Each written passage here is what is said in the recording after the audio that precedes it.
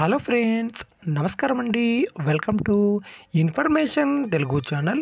గత రెండు నెలల నుండి మనకు ఈపీఎఫ్ఓ పాస్బుక్ వెబ్సైట్ సరిగా పనిచేయడం లేదు. అలానే చాలామంది మనకు కామెంట్ చేస్తున్నారు ఏంటంటే మాకు టూ మంత్స్కి సంబంధించి కాంట్రిబ్యూషన్ ఇంకా పే చేయలేదు ఎందుకు? అని కామెంట్ చేస్తున్నారు. సో ఈ వీడియోలో మీకు పూర్తి ఇన్ఫర్మేషన్ అందిస్తాను. వీడియోకు లైక్ చేయండి అలానే సబ్స్క్రైబ్ చేయండి.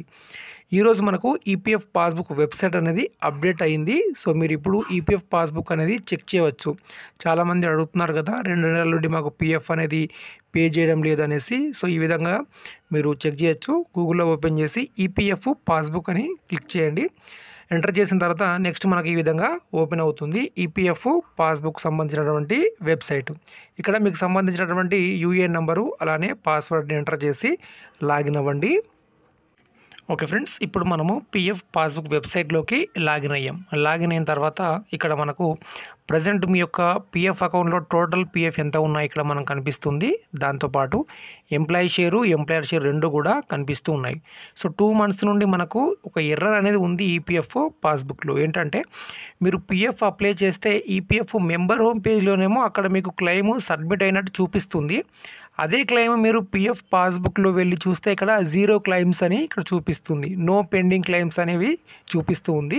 కానీ ఈరోజు మీరు చూడొచ్చు ఈపీఎఫ్ పాస్బుక్లోన మీకు క్లెయిమ్ స్టేటస్ చూపిస్తున్నాయి. క్లెయిమ్ యొక్క స్టేటస్ సెటిల్ అయిందా? రిజెక్ట్ అయిందా? సెటిల్ అయితే ఎంత సెటిల్ అయింది అని కూడా మనకు చూపిస్తూ ఉంది. అలానే మీకు ప్రతి నెల ఈపీఎఫ్ కాంట్రిబ్యూషన్ అనేది కంపెనీ జమ చేస్తూ ఉంటుంది కదా. సో ఈ నెలలో మీకు అప్డేట్ అనేది వచ్చింది. యాక్చువల్లీ మనకు ఎవ్రీ మంత్ ట్వంటీ తర్వాత లేదంటే ట్వంటీ ఫైవ్ తర్వాత మనకు అప్డేట్ అనేది వస్తూ ఉంటుంది.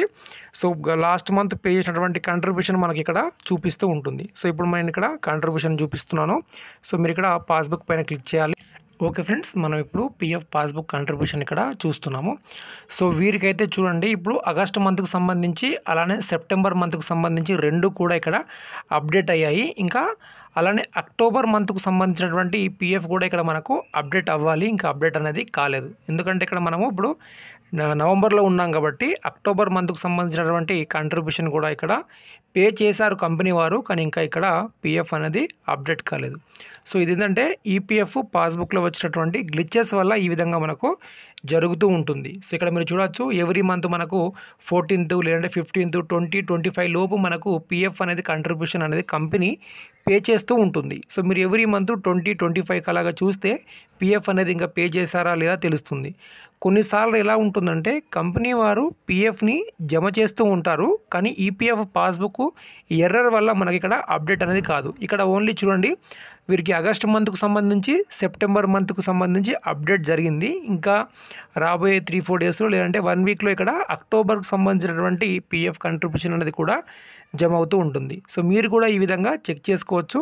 August September October.